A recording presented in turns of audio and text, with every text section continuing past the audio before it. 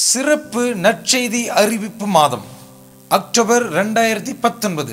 கிறிஸ்துக்குள் பிரியமான சகோதர சகோதரிகளை திருத்தந்தை பிரான்சிஸ் அவர்கள் இரண்டாயிரத்தி பத்தொன்பதாவது ஆண்டினுடைய அக்டோபர் மாதத்தை சிறப்பு நற்செய்தி அறிவிப்பு மாதமாக அறிவித்திருக்கிறார். Extraordinary missionary month two thousand and nineteen எதற்காக இந்த சிறப்பு நற்செய்தி அறிவிப்பு மாதம்? சரியாக நூறு வருடங்களுக்கு முன்பாக. அன்றைய திருத்தந்தை பதினைந்தாவது பெனடிக்ட். பதினைந்தாவது ஆசீர்வாதப்பர் ஒரு திருமடலை திருச்சபைக்கு எழுதினார். அந்த திருமடலுடைய பேர் மேக்சிமம் இல்லூட். அந்த மேக்சிமம் இல்லூட் என்ற திருமடலில் தான் முதல் முறையாக நீங்கள் கிறிஸ்துவுக்கு சான்று பகர உலகெங்கும் செல்ல வேண்டும் என்று திருச்சபை பகிரங்கமாக அறிவித்தது. அதுவரைக்கும் ஒவ்வொரு அரசனும் அவனுடைய அரசவையை பெரிதாக்குவதற்காக எங்கெங்கெல்லாம் சென்றார்களோ அவர்களுடைய மதமும் அவர்களோடு செல்லும். குறிப்பாக சொல்லப்போனால் எங்கெல்லாம் ஸ்பானியார்டுகள் சென்றார்களோ ஸ்பெயின் நாட்டினுடைய மன்னர்கள் சென்றார்களோ அங்கெல்லாம் அவர்களுடைய மதத்தை அவர்கள் எடுத்து சென்றார்கள்.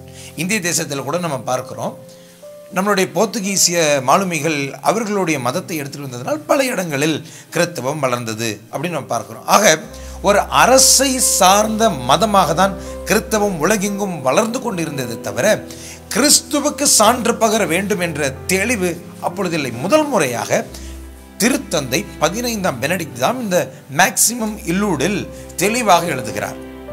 நாம் ஏதோ ஒரு அரசருக்கு அடிமையாக இருக்கிறோம். அல்லது ஒரு அரசவை சார்ந்து இருக்கிறோம். ஆகவே அந்த அரசனுடைய மதத்தை பரப்ப நாம் செல்லவில்லை.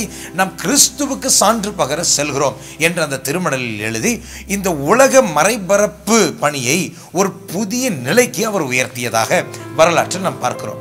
அதனுடைய நூற்றாண்டு கொண்டாட்டம் செப்டம்பர் மாதம் முப்பதாம் தேதி வருகிறது.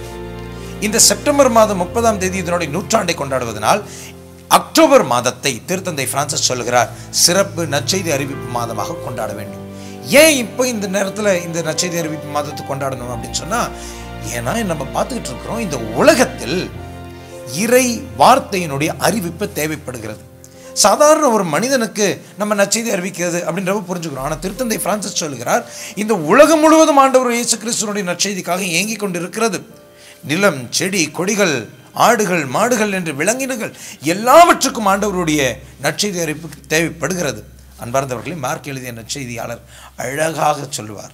உலகெங்கும் சென்று படைப்புக்கெல்லாம் நற்செய்தி பறைசாற்றுங்கள். அந்த வார்த்தையின்படி வாழவே திருத்தந்தை நம்மை இந்த சிறப்பு நற்செய்தி அறிவிப்பு மாதத்தில் அழைத்திருக்கிறார்.